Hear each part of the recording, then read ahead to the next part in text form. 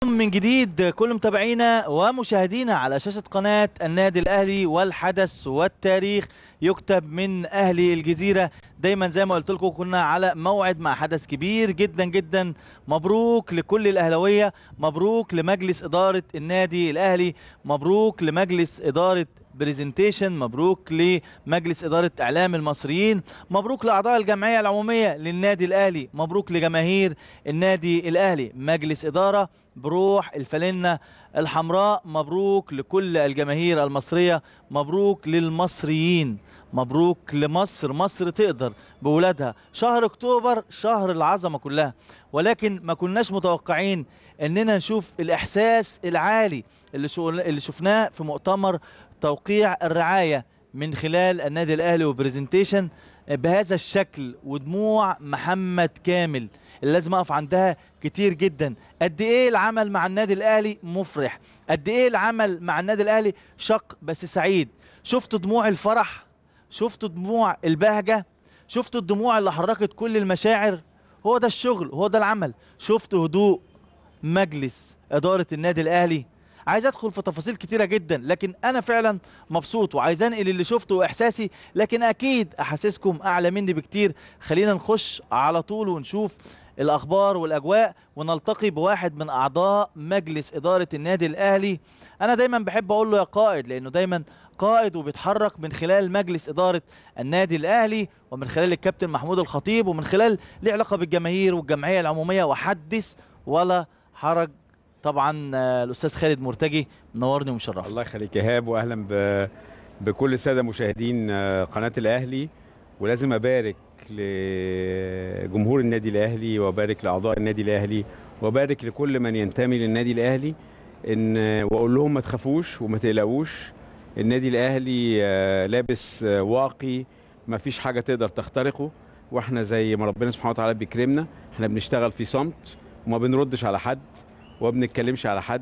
كل اللي يهمنا مصلحة النادي الأهلي برنامج عائلة الأهلي ومجلس إدارة النادي الأهلي بروح الفانيلا الحمراء يبدو إن برنامج عائلة الأهلي ومجلس إدارة آه الأهلي بروح حمراء لكن إيه إيه إيه ال ال ال الأداء الهادي ده في وسط الظروف لما الناس تشوف إن الدنيا مضغوطة آه في خطط بديلة كتير آه في خطط أعلى من الخطط اللي موجودة.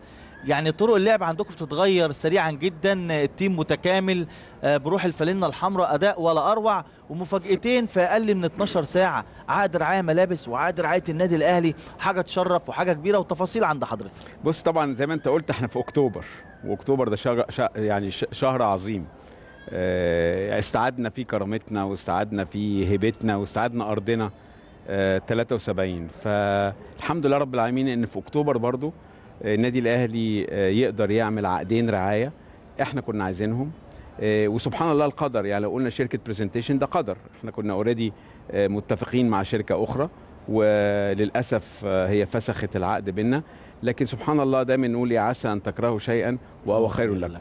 النادي الأهلي ما بيقفش على حد. كل الناس بتجري ورا النادي الأهلي. النادي الأهلي هو نادي القرن عن إفريقيا. النادي الأهلي هو أعظم نادي في إفريقيا. النادي الأهلي هو هرم الرابع في مصر. ولذلك زي ما انت شفت كده ال- ال- الأحاسيس الجياشة ودموع محمد كامل اللي أثرت فيا شخصيا يعني الحقيقة يحسسك قد إيه إن أي حد ينتمي للنادي الأهلي أو أي حد يشتغل مع النادي الأهلي ده هو هو وعارف إن هو هيكسب من وراه. وفي نفس الوقت لازم نقول ندي الحق لأصحابه إن شركة برزنتيشن النهارده بتمثل طفره في ال- الرعايه وشركات الرعايه. النهارده Presentation الحقيقة في خلال السنوات ال- ال- اللي فاتت حققت آه، نجاحات حققت اسم محترم. أنا اشتغ... يعني شفتهم في أكتر من حاجة أما كانوا هم بينظموها سواء ماتشات السوبر أو أكتر من حاجة. حقيقه ناس very حاجات عالمية. very professional يعني لا يضاهوا الشركات العالمية. والحقيقة هم النادي الأهلي ما يستاهلش غير كده. النادي الأهلي هو في في مثل إنجليزي بيقول لك إيه؟ Leaders work with leaders. يعني يعني القادة بيشتغلوا مع القادة. النادي الأهلي هو القائد والرائد شغل على. كبير. بالظبط كده. شغل على فلازم. لما يجي يشتغل يشتغل مع رائد, رائد, رائد زيه. ولذلك كل فإحنا كل لازم نبارك لمحمد فندم كامل اللي حصل وبرزنتيشن والاسم الكبير ده إنما الفرحة والشعور والمشاعر اللي عند الأستاذ محمد كامل وشركته بهذا التعاون بهذه الفرحة بدموع الفرحة بتمثل حاجات كبيرة جدا وكلمته بتكفي. يعني الكبار مع الكبار كلمتهم بتكفي. النادي الأهلي بيضيف لنا كتير جدا جدا. إحنا مش عارفين هنضيف للنادي الأهلي. النادي الأهلي ضاف لنا حاجة كبيرة جدا. والحمد لله إننا عشنا وشفنا اليوم ده. ولو متنا يبقى الحمد لله على اللي إحنا عملناه. إيه إيه, إيه الكلام ده؟ بص يا مح... بص يا إيهاب. يعني ما فيش شك إن إحنا سبحان الله زي ما قلنا رب ضاره نافعه النهارده العقد بتاعنا اللي إحنا مضيناه مع برزنتيشن أكثر من العقد اللي كنا ماضيينه قبل كده مع الشركة الأخرى. وفي نفس الوقت ده أنا بعتبر إن ده مكسب كبير قوي لمحمد كامل وشركة. Presentation لأن أنا عارف إن هم من ورا هذا العقد إن شاء الله بإذن الله هيكسبوا. إحنا دايما بنقول إيه؟ win win يعني إيه win. win يعني إيه اكسب وك- وكسب. فكونك إنك أنت تتعامل مع شركة محترفة زي Presentation مفيش شك إن ده إضافة آه، للنادي الأهلي. وإن شاء الله بإذن الله لازم ما ننساش الدور الكبير اللي قام بيه الكابتن محمود الخطيب. طبعا. وإدارة التسويق الحقيقة عملوا دور كبير جدا في خلال الشهر اللي فات عشان نقدر نخلص العقدين دول. فلهم كل الشكر وزملائي طبعا في مجلس الإدارة كلنا. كنا دايما داعمين لكابتن محمود الخطيب لأن زي ما قلنا وبدينا من أول يوم إحنا مجلس إدارة بروح الفانيلا الحمراء كلنا بندعم رئيسنا وبندعم الإدارة التنفيذية بتاعتنا اللي هي شغالة طبقا للخطة اللي إحنا واضعينها في برنامج عائلة الأهلي. إحنا ما بنخترقش أو مش عايز أقول إحنا ما بنخترعش حاجات. مم. إحنا already عندنا. كل ده مترتب. بالظبط. ال plan ده كل ده مترتب. النهارده زي ما قال الكابتن محمود الخطيب في كلمته النهارده انت عشان عندك آه، آه، آه، التزامات كتيرة جدا عندك آه، طموحات كتيرة جدا موجودة في برنامج الأهلي. ما ينفعش تبقى آه، تنفذ أو تترجم بدون راعي. والراعي ده الأساسي أو الفلوس الرعاة هي دي أكبر مدخل أو أكبر دخل بيجي للنادي الأهلي. علشان كده إن يعني إحنا شايفين إن بإذن الله تعالى إن هذا العقد بإذن الله يبقى آه، بداية انطلاقة كويسة وبداية حفاظ على ريادة النادي الأهلي في البطولات. وزي ما قال الكابتن خطيب إحنا شغل, الإنشاءات ماشي على أكمل وجه. الخدمات النهارده كمية المنافذ اللي زادت. طبعا. الحقيقة كل حاجة بنعملها طبقا لبرنامج الأهلي لأن الكابتن خطيب لما قال في برنامج عائلة الأهلي كنا عاملينها ب time frame. يعني إيه time frame؟ يعني بجدول زمني. فالنهاردة حتى أول حاجة عملناها ونجحنا فيها بفضل الله سبحانه وتعالى وهو إقرار لائحة النظام الأساسي لأن إحنا قلنا قبل سنة هيكون عاملنا لائحة الداخلية بتاعتنا. وبالفعل آه، جت جمعية عمومية في عرس كبير وكان حاجة جميلة إنها تقر لائحة النادي الأهلي الأساسية وتبدأ تاريخ أو يبدأ تاريخ من ح- أو يبدا المستقبل من حيث انتهى التاريخ للنادي الأهلي. وبإذن الله تعالى يبقى اللي جاي خير ونسأل الله سبحانه وتعالى أن نعوذ به من السلب بعد العطاء لأن ربنا بينعم علينا كتير طبعاً. جدا. وزي ما انت شايف ال ال ال ال النادي الأهلي يعني عايز أقول أسد. مم. وربنا يكرمنا دايما ونبقى دايما عند حسن ظن الجميع. الأسد لما يتحط تحت ضغط أو الناس تفتكر إنه محطوط تحت ضغط يفاجئهم بهدوء تمام وياخد القرار ويسجل. تحت ضغط. هو ده النادي الأهلي وفرق النادي الأهلي ومجلس إدارة بروح الفانلة الحمراء. هدف مهم جدا النهارده بيتحقق.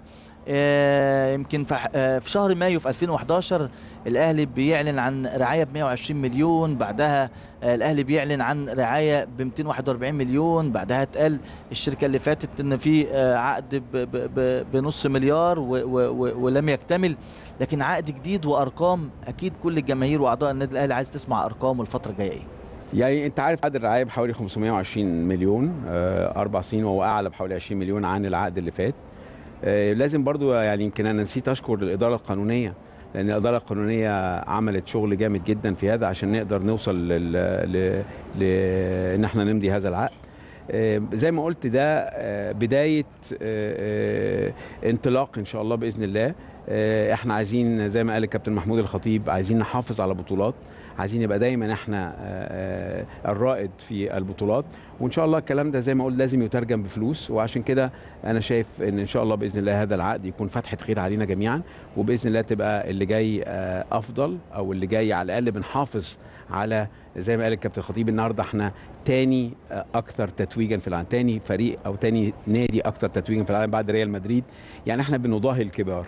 عشان نفضل نستمر إن إحنا نضاهي الكبار وإن إحنا نبقى منافسين مع الكبار لازم إن إحنا يبقى في آه، دي, دي نقطة مهمة وهطلع بعيد يعني سنة عندها وارجع وأنا معايا وزير خارجية النادي الأهلي وموجود معايا وحضرتك معروف ارتباطك العالمي وارتباطك بالمحافل العالمية والمؤسسات الدولية الكبيرة الرياضية. جماهير النادي الأهلي مستنية برضو حاجة عالمية في الفترة الجاية. طبعا إحنا مركزين في بطولة أفريقيا إن شاء الله ربنا يكرم لكن أكيد مهندس خالد مرتجي شغال. بص إحنا يعني عقدين الرعاية دول إحنا بنشتغل في صمت يا ايهاب وبعدين بنعلن اما يبقى في حاجة آه، يعني زي ما بنقول إيه آه، كونكريت أو حاجة صلبة. خلاص في إيدينا فاحنا ما تعودناش إن إحنا آه، نتكلم قبل ما من يعني إحنا إحنا مختلفين. إحنا بنخلص شغلنا وبعدين بنعلن كويس فإن شاء الله بإذن الله اللي جاي آه، يعني القادم بإذن الله كويس والقادم يليق بالنادي الأهلي وربنا يكرمنا وإن إحنا دايما نحافظ على مبادئ وقيم النادي الأهلي ونحافظ على السلوكيات اللي إحنا اتعلمناها. من اللي قبلنا نحافظ دايما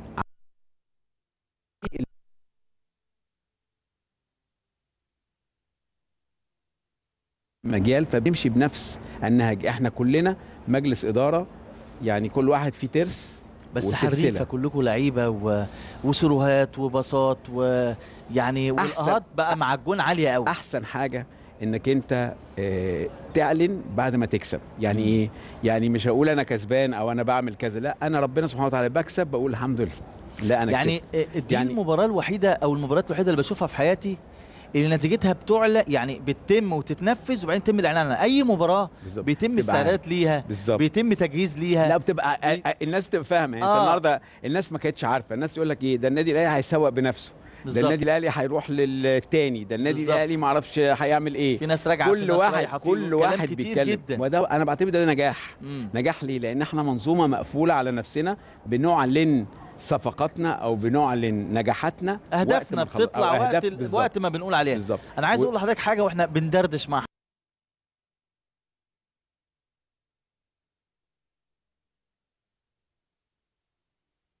ابدا قلت لهم طيب. طب إزاي ما يقوليش طب يا جماعة في إيه؟ والله ما نعرف. أكلم بص كل اللي يخطر لك على بال في القناة. ما نعرفش. لدرجة إن أنا خفت أكلم ناس لو مش عارفين إن في ايفنت أصلا. جيت الساعة 9 شايف أمور لكن ما فيش أي حد عايز يقول لك أي حاجة. لا ب 10 دقايق. اطلع بنتكلم في كذا وهتقدم اللي هيحصل في مفاجأة كبيرة جدا جدا. مظبوط. بتعلنوا للناس كلها حتى اللي موجودين معاكم في قلب المنظومة يعني صعب جدا جدا إنهم حتى آه، يعني وقدامهم وموجودين و و و. ولكن فعلا فعلا في سرية تامة في هدوء كبير جدا في صمت شديد جدا.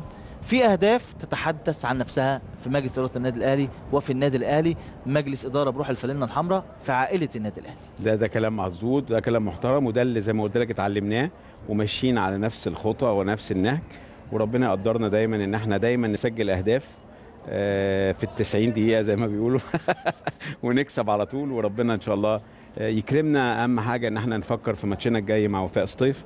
آه، مفيش شك إن جمهور النادي الأهلي وأعضاء النادي الأهلي وكل من ينتمي للنادي الأهلي متعطش إن الأهلي يكسب بطولة أفريقيا فدي. كلنا آه، أمل كبير في آه، الله سبحانه وتعالى ثم في لاعبتنا وجهازنا الفني والإداري الناس كلها على قدر المسؤولية وربنا يكرمنا ونرجع إن شاء الله بإذن الله واصلين للنهائي وربنا يكرمنا وناخد البطولة ونروح الإمارات إن شاء الله في كأس العالم للأندية. ونرجع تاني للعمليه للعالمية بعد غياب أربع سنين. شرفتنا ونورتنا يا. باشمهندس. مبروك, مبروك ألف لينا. مبروك. ألف مبروك على كل اهلاوي ومبروك على مبروك. لكل الأهلاوية وإن شاء الله بإذن الله القادم أحسن وبالتوفيق دايما. شكرا لحضرتك. شكرا. طبعا آه، بداية اللقاءات آه، مع المهندس خالد مرتجل قال لكم كلام مهم جدا. لسه عندنا لقاءات كتير. افرح يا أهلي. بعد الفاصل مكملين.